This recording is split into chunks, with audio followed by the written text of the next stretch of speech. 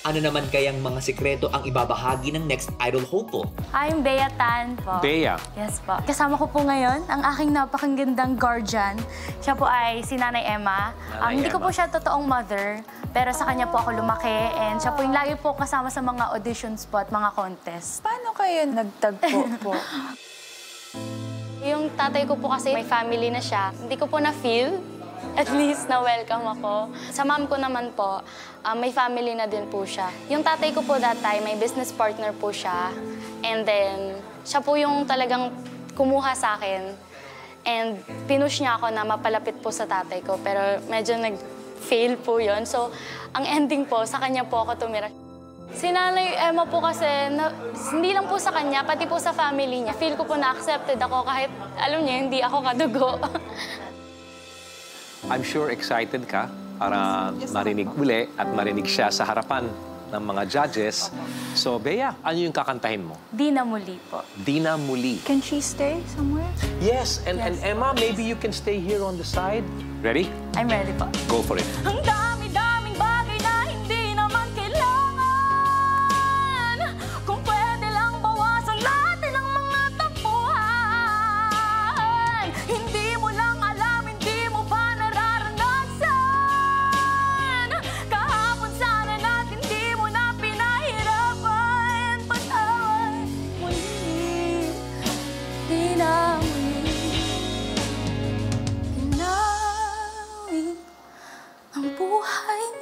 nang walang sabi Pinupulong ko sa sarili.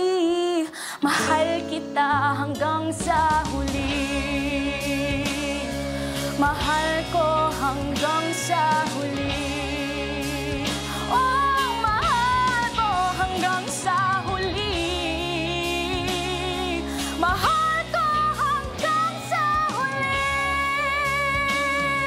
Binigay mo lahat ng mga expressions na kailangan para sa isang kantang tulad nito. Si Mami Emma is very proud of what you did, just as proud as I am of you today. Thank you po. I saw that vulnerability. Yung storya mo kung paano mo nilagay dun sa kanta. I just connected so well with you. Gusto ko yung placement mo.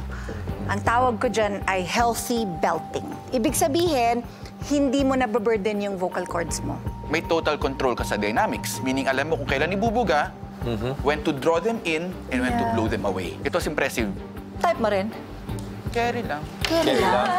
O di, Hindi, vote galing, na galing, tayo. galing, galing, Sa galing. ganon, vote na tayo. It's a yes for me. Siyempre, it's a yes for me, no? Ano ba? Parang balisa ka.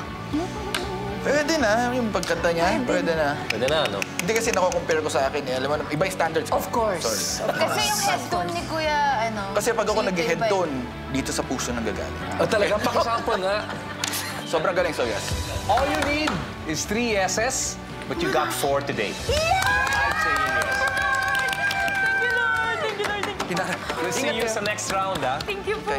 Dahil sa buong pagmamahal ni Mami Emma kay Bea, nakuha niya ang buong boto ng judges. See you sa next round, Bea!